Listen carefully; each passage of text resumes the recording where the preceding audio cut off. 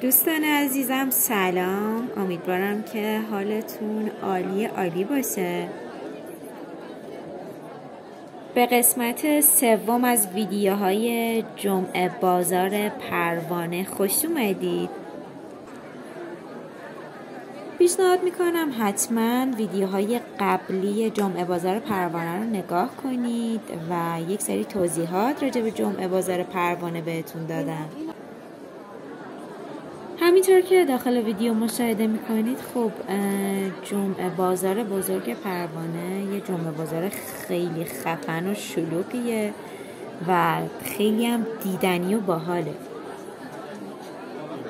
برای من همین جمعه بازار خیلی جذابیت داشت. چون اولین بار بود اومدم به این جمعه بازار.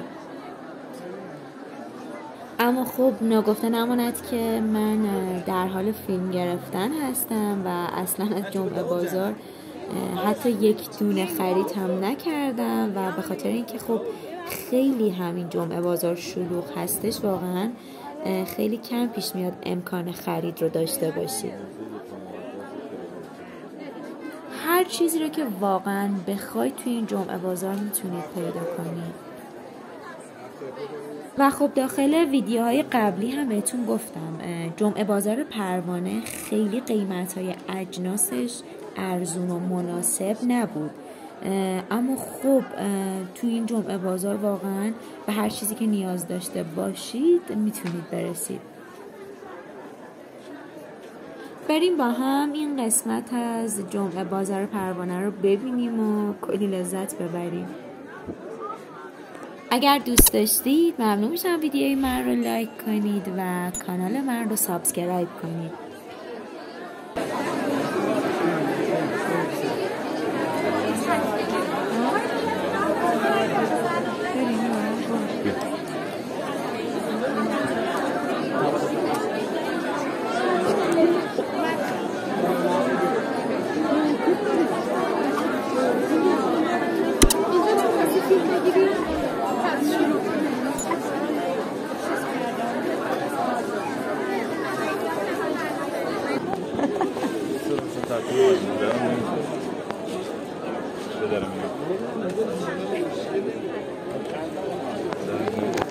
پدرم اینا رو خوب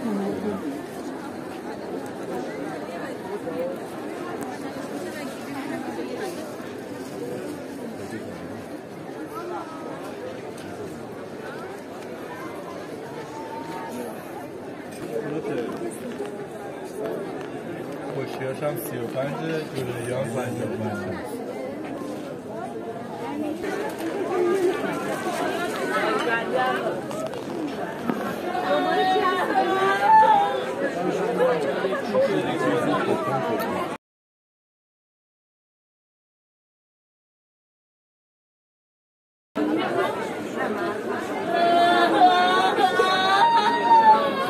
بیا بریم مامانتم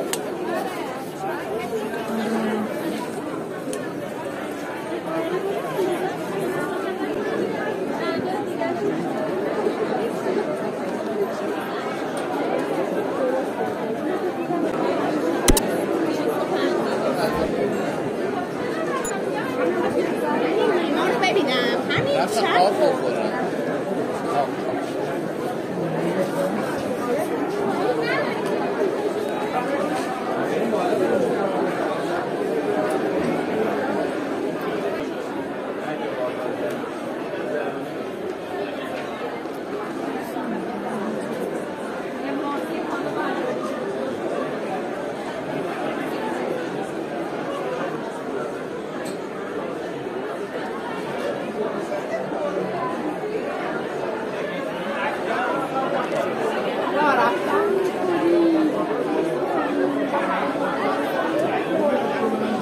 ببخش آه پله رو باید بیام بالا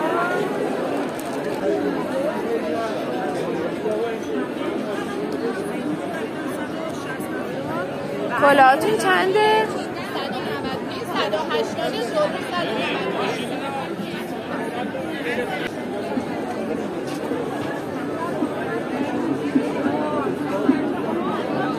بوده دونی؟ Hocam öyle.